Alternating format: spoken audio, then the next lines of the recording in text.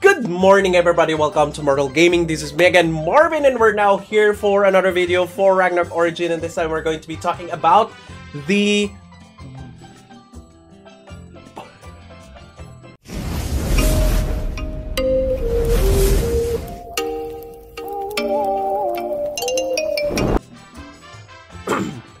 Good morning everybody, welcome to Immortal Gaming. This is me again, Marvin, and we're now here for another video for Ragnarok Origin.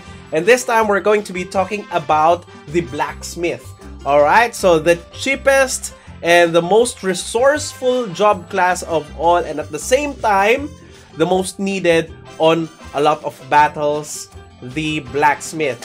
Very versatile, a lot can deal a huge damage and at the same time support damage of other party members and self-sufficient job class. Alright, so the blacksmith.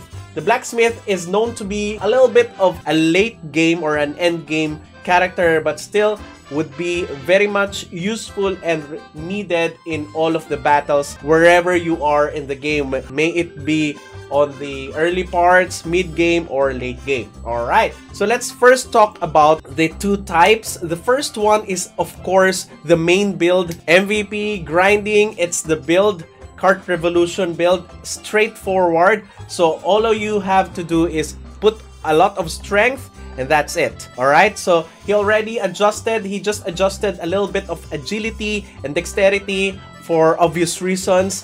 For the agility, because the cooldown of the cart revolution or the skills of a blacksmith is going to be lessened by the higher agility it has. So for the other build, that is the Agi auto build. That is for just for the monster research purposes. Let's now go to the skills. For the skills, you only need one preset and it's going to be uh, used in all occasion. So for the merchant, of course, you need Cart Revolution. That's just one level. This one is not Cart Revolution, but I think it's Cart Attack or something. Um, this one is single target. This one is the AoE. So you would most likely be using this one for grinding and for MVP, the cart revolution. Alright? So you also need level 10 cart modification because you need to increase the storage space and the weight of your cart. At the same time, this enlarged weight would also be increasing the damage of your cart revolution by 50%. So you need that. Of course, you need discount. In my opinion, overcharge is somewhat um, negligible in this game because you already have the market or the trade market here in order for you to sell your garnered materials. So next is for the blacksmith. For the blacksmith, the only thing that you need here is of course weaponry research weapon perfection, power thrust, and most probably adrenaline rush in some cases. So that is already 25 points. Hilt binding is also good. Hammerfall is also needed, but not that much. And one important thing here is the skin tempering for a huge survivability on your part. If you would want to open up another preset, I would be suggesting for you to focus on the converter crafting, in the steel tempering or Oridecon research. Everything about crafting, that's the part. Let's now go to the gears. The gears are pretty much straightforward. You would want to, as much as possible, put in a lot of melee damage or melee attack or additional strength on your character. So, the same goes with this one. So, combat uniform, wool scarf, so that you could get that Mountain Rangers set together with the Tidal shoes.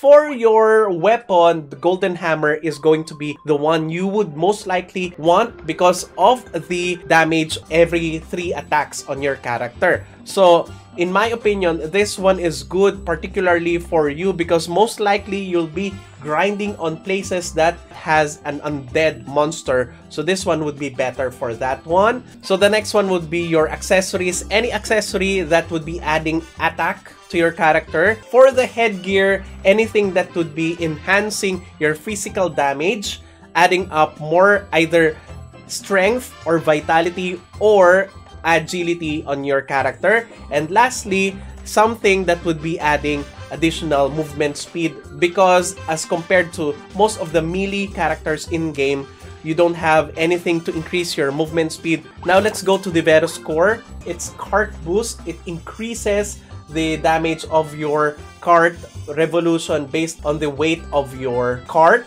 okay? Cart remodeling is also good because it also increases the damage on your cart revo. Anything that would be increasing the damage overall of your attacks would be good. Don't ever forget to increase the weight limit of your cart and at the same time fill it with as much load or weight as possible.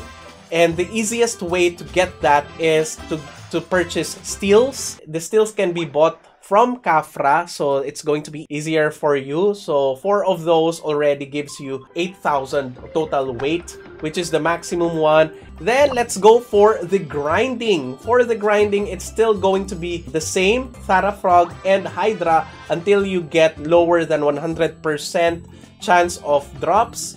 Then you could also go for Pirate Skeleton. The people are leveling on Pirate Skeleton and spending their Freya time or their time 6 drops bonus on Thara Frog and Hydra. So go to Pirate Skeleton until level 52. After that, you can now proceed to Skeleton Worker so that you could actually, you know, farm, grind at the same time for experience and at the same time have a chance for the card drop.